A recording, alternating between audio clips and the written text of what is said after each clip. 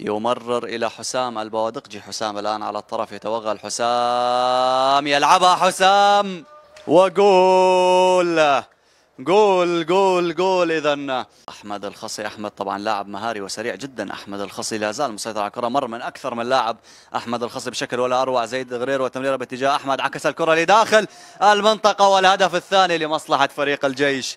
الهدف الثاني لمصلحة فريق الجيش متابعينا عن طريق محمد البر. اذا يسجل الهدف الثاني لمصلحة فريق الجيش. عمر نعنوع مع عبد الإله حفيان مع محمود البحر. التمريره إلى عبد الإله عادها إلى عمر نعنوع وجول.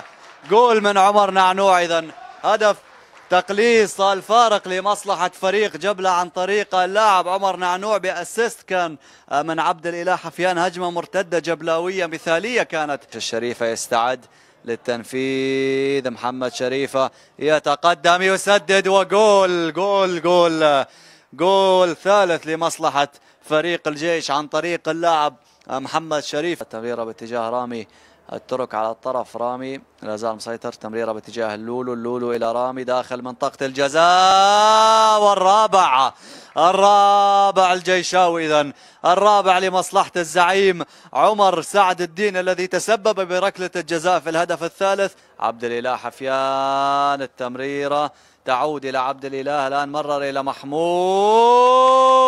وجول جول. محمود البحر يسجل الهدف الثاني لمصلحة فريق جبلة في هذا اللقاء. محمود البحر يسجل الهدف الثاني والعشرين له.